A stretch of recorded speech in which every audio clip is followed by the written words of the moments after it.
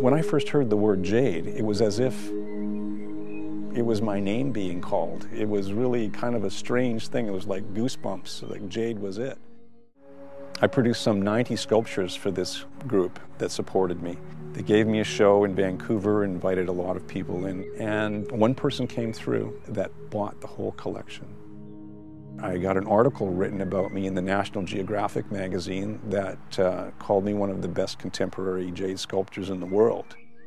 Part of the process of creating sculpture is to do drawings, and sometimes I add color and do paint as well.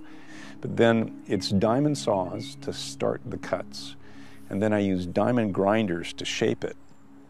And uh, this whole process has to be done with water. So it's a learned process. It's something that takes a lot of time to understand and allow yourself to feel the stone. How long does it take to do a sculpture? And my smart answer to that is 35 years because that's how long I've been working with this stone.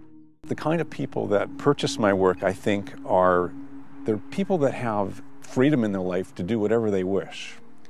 And I think when they see my work, that kind of reflects into their personality. They see um, how unique this kind of art is. And when they have that in their homes, I think that really reflects on who they are as a person as well.